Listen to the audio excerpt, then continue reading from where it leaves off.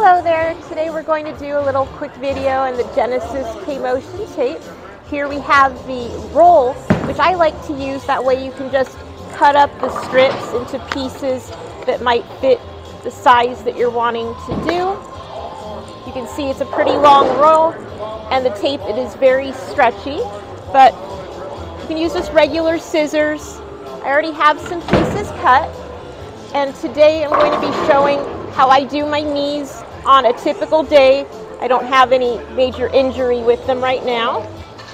So for me, I kind of want to do a bit of a smiley face type of shape for it.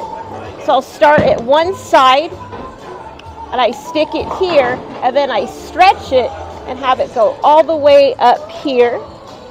All set, just like that.